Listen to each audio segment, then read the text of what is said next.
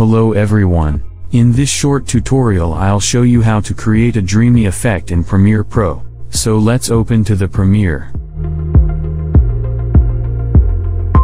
Here is the video on the timeline as the example, and the first thing I'm going to do is to duplicate this video, by holding the Alt key on a keyboard then left click and drag the layer 1 track up, and then hide the visibility of the track number 1 so that we can focus on the duplicated video. Then open effects window, and search for Luma key then add it to the duplicated video on the track number 2. Then search for Gaussian blur, and also add it to the duplicated video.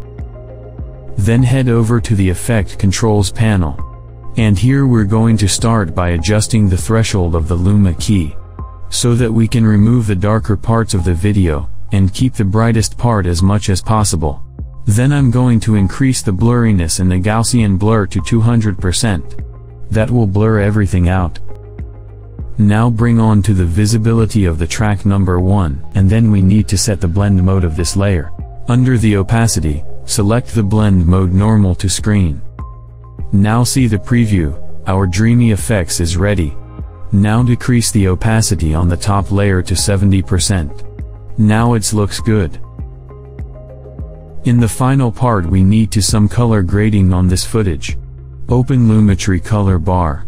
At first open basic correction. Then increase temperature and tint value like this.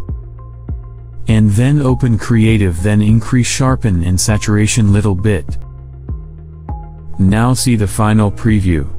I will see you in the next one. Have a nice day.